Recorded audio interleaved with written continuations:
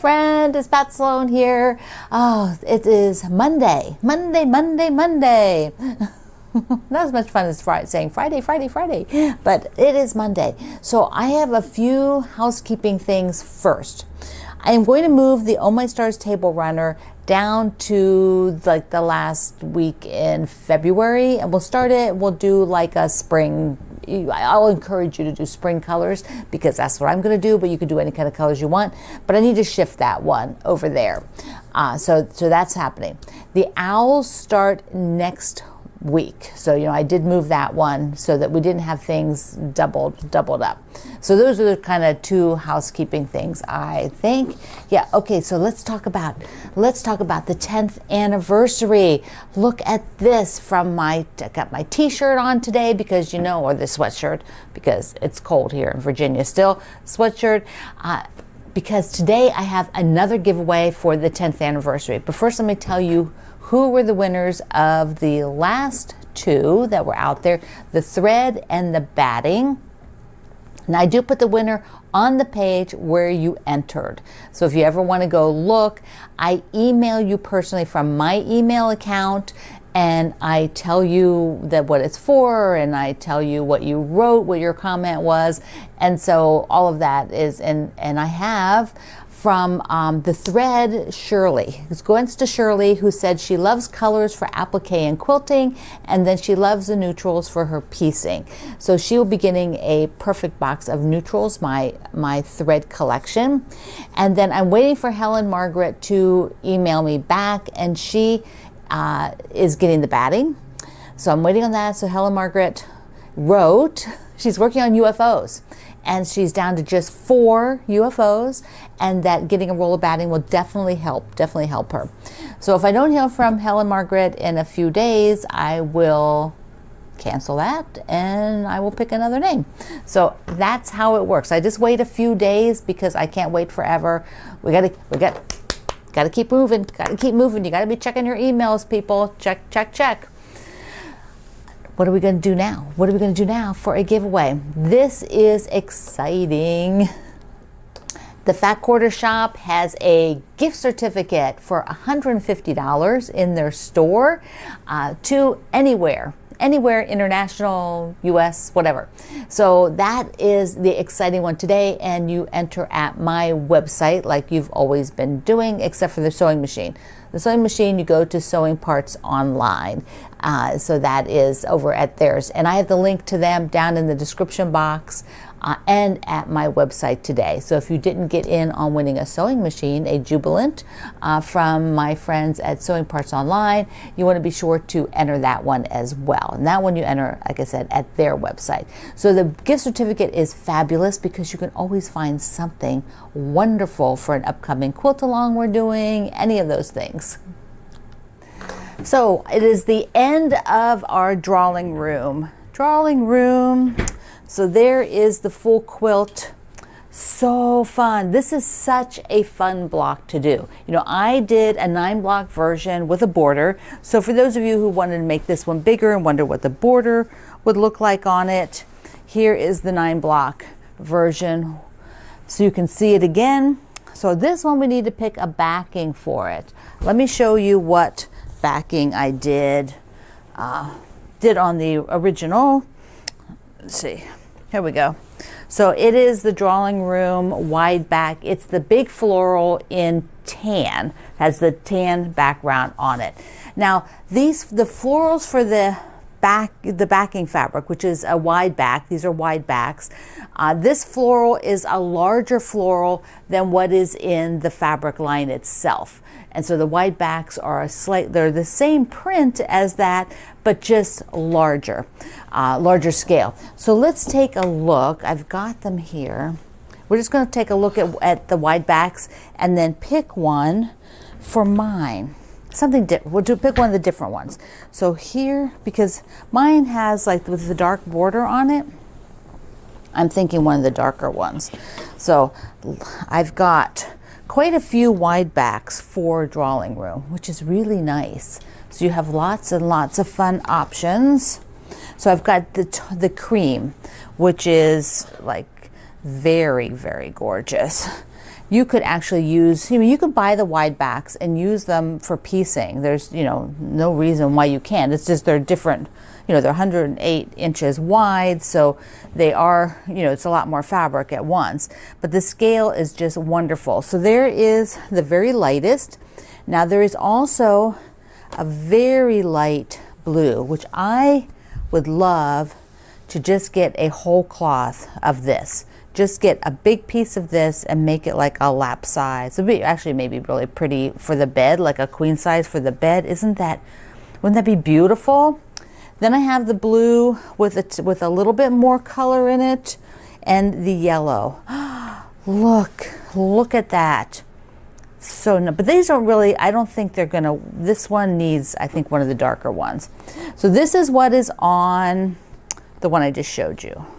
So that is with the tan, with the browns uh, in it. But this comes in a lighter, slightly lighter version. Look at that. We did so many pretty wide backs for this line, so you can really pick what works for you and which pieces in the collection you used. Okay, so the two I'm thinking about are the two darker ones. Either the, the charcoal, which I think will go really well with this one. And it was one of the options of the smaller scale to use for the border. Or I could go with the blue. So the blue, the navy, you know, darker blue, which um, will, you know, I think that's pretty as well. But I'm really leaning towards the charcoal because of having the darker border on it, having this as the border. So I just think that that would be a good combination. But let me know in the comments because you might have a totally different idea. And I would love to hear it. Love it, love it, love it. Okay, so let me show you. Oh my gosh, these cords. I'm like stepping on them. Hold on. Uh, so I decided I needed to just sort of fix a little few things up not not so much fix them up. I needed to get to get to decide something to work on. I had to, you know, like not like I have like 800 things, but I had to pick something because there were several. So so first take a look. Let's start here. So I have the sea glass blocks, but I'm not uh, right now gonna gonna put those up. So I'm looking at some other stuff. Here is a quilt to get binding on it. This is one that we did last year and it is with my fabric that I just feel think it feels like springy with the lavenders and the teals and so I want to get have to do a hanging sleeve and then binding on this one. I did not make binding for this one so I have to make the binding. Couldn't find any binding. These are the four patches, fat quarter four patches, which I need to put up on the wall. That one I want to get the top sewn and then I have to I have to get the wreaths cut for the Christmas all year. The first block is wreaths, and so I want to do that for Wendy's quilt along, and so I've got the fabrics here to do that. And what else do I have out here? Okay, so I was cutting some more uh, Perfect 10 blocks with the horse fabrics, and I have here's another here's a set of four another set of four and um, there's some more to go with this set of four. I'm doing four like four at a time and then I wrote down I know like the pineapple fabric right? The pineapple paper. I need like 14 more blocks after these and so that is that is what I'll do with that. And then down here I am working on this cross stitch which I like whoops hold on. This is a total reboot. Um, I had to pick out some of this and there was a peak already done and then I kind of started the roof up here but I had to pick that out. So now I think I'm back on track because I did this quite a few years ago when Kimberly first came out with the Cross Stitch University. This is a free pattern. It's a great one to start with. She had you start with this frame, which now I personally would not do the frame until the end because I'm just not that comfortable with counting all of that and getting it accurate. Um, there's usually a kit, so you can just get the threads and the cloth and everything. And so I want to finish this one up because I think it is so darling. I love the colors, that blue with the, the pops of green and the white, the white star here, so nice. So that is the other thing.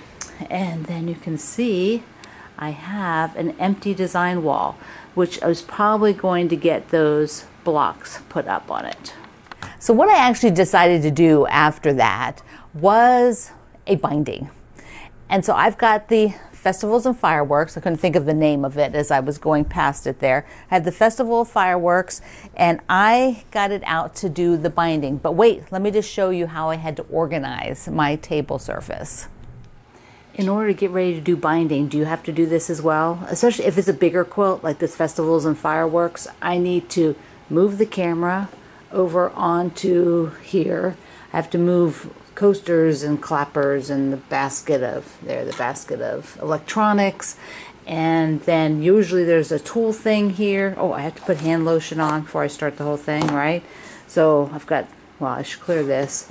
Should move this as well let's put it down here it's where I've been putting it and then I put this thing over here I put some sewing over there like everything has to be moved uh, so I can do, I can do, I can do binding. And now, now it's cleared off, except for I'll move this. And I can get the binding on. Whoops. So it's a it's a it's a big deal, isn't it? When you get ready to either bind a bar a bigger quilt or uh, machine quilt a bigger quilt, which is going to take you even longer, uh, it you have to get organized. I can't just put it down because my space here between the legs of this camera the leg of the camera is right here.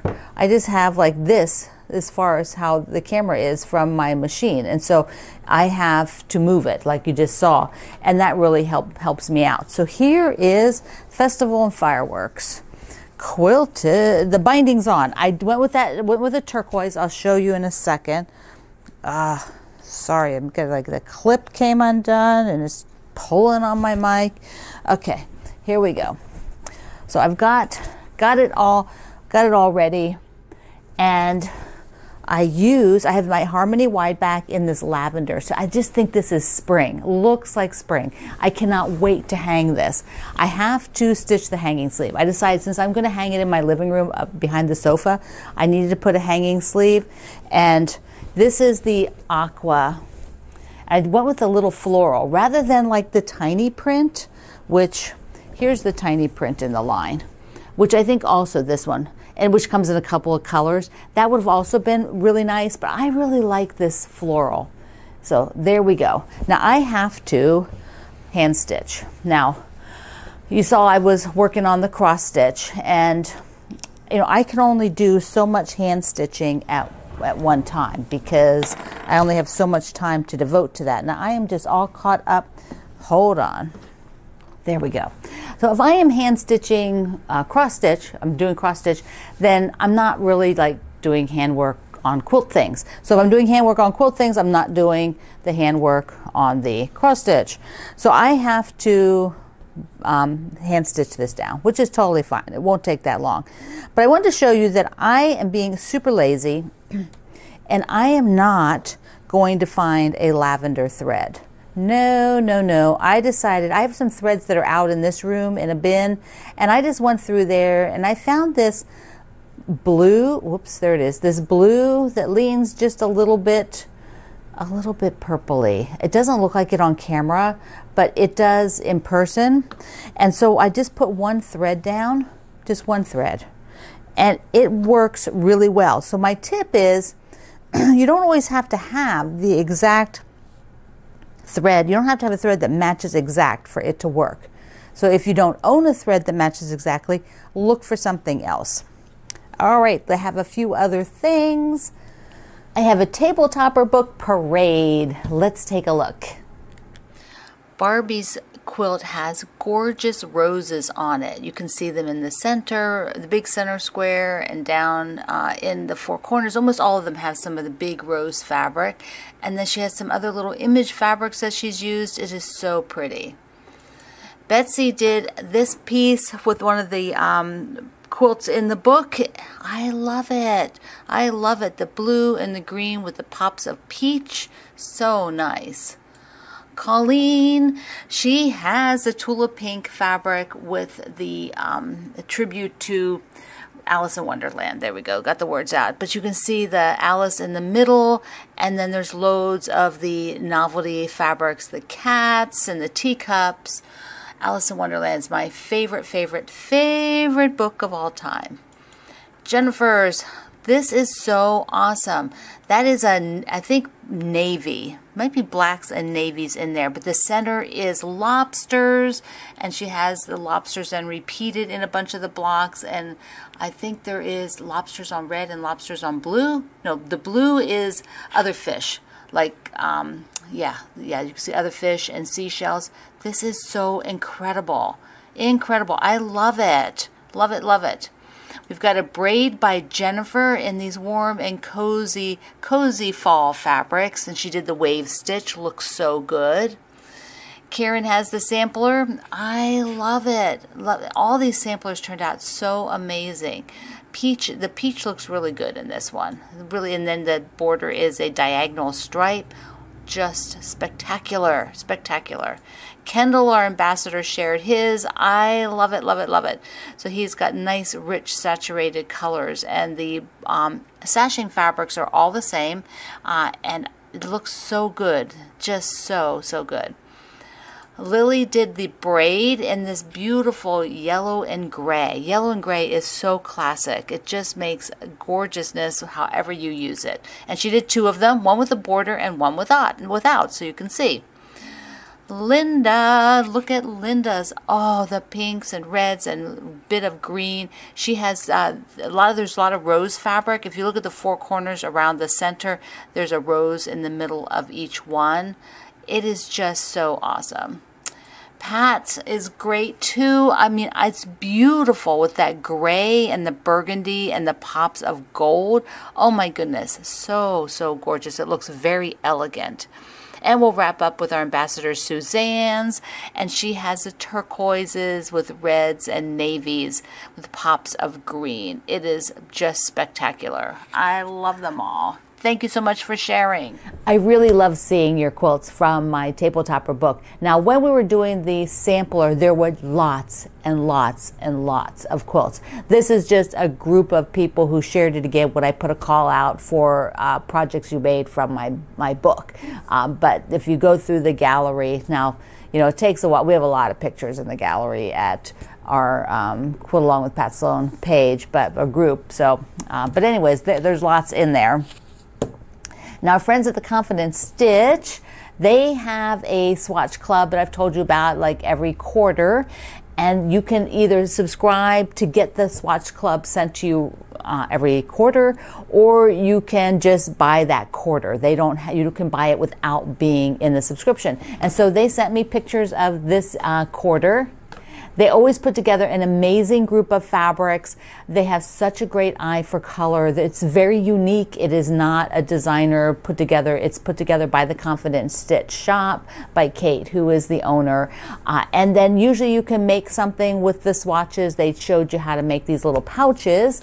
And then you can buy the, with the same fabrics, they all, also do a kit, which is um, a, a quilt. So it's more fabric than the swatch kit. And here's the kit. I love this clean, fast, contemporary look of this quilt because it's something you can put together quickly and enjoy those fabrics. It's really, really beautiful. And so you can buy just the swatches if you want them because you like them and you want to do something with them. They're five inch squares, or you can get the kit. Um, so I want to tell you about that because it, they do a limited number. It's extremely limited number. Uh, and you go over their website, link is below and at my website today. Before I finish doing the video, this came in the mail. So let's take a look at the swatches. The actual swatches for the Confident Stitches Club. So here they are. Look, the little snails. Oh my goodness. Look, look, look. How darling are they? And then they always put in some pretty solids for you to work with. This is gorgeous. Look at that. I think it might be a woven. See, it's the same. Whoops, the same on either side. Oh, it feels so nice too. Super cute. These look like little little white berries of some type. Uh, nice basic in yellow. There's a golden solid and then this horizontal stripe So cool. So cool. Little rainbows on green and then a sagey green solid. See, they have such a great eye for color and they pull all these different fabric lines. There is, looks, and it looks like circuit boards. Might be my computer, my computer stuff talking. A pretty floral, look at that. Tossed in there, a spring floral, and then a blue cornflower blue. This is kind of a painterly piece on a light, light pink, and then kind of a mauvey purpley pink, and then this purple with that same. Yeah, you can get yardage of any of this from their website as well. Look at that. Look at that. A tone on tone, a white, a white on white. There you, you can actually see the print, white on white. And that same stripe in a beige and white. I love that. That is so cool. I'm going to look up what that is. And then a little pretty floral.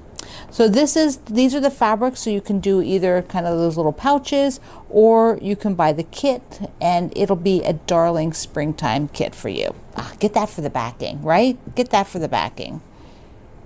Lastly, there are celebrations for today and I was hoping to um, well, maybe start pulling fabric for this one. Uh, so I'm gonna I'm gonna try that another day this week. I just wasn't in a mindset for doing that today for this video, but there are celebrations for today, and the polka dots is polka dot day. How cool! I love polka dots. Totally love polka dots. So if you have quilts with polka dots, it is answer your cat's questions day. what is that? Answer your cat's question. Well, that cracked me up so much because I have this cat quilt that I want to make. Um, I think I've mentioned before that my brother-in-law and sister-in-law have uh, quite a few cats and they're their pride and joy and I thought I'd need to make this for them uh, and it's fat quarter friendly and it comes with three different sizes. Plus, I think there's a digital download too, so you don't have to wait. So I just had to show you that. But it is Answer Your Cat's Question Day. So if you have a quilt with cats on it? Yes. No, not the cats themselves. No, printed cats, quilted cats. you already share enough of your own cats. That's that's not not, not for today. Uh, and then let's see. Yeah, that's it. That is it. So enter the giveaway. Enter the 10th anniversary giveaway. I'm very excited this month. There are still a few more giveaways after this one because I wanted this month to be a amazing kickoff, a thank you for being in my community and a kickstart to an awesome 2024. So I love you. Mwah. Thank you for being here in the Sloan Zone. I will see you online.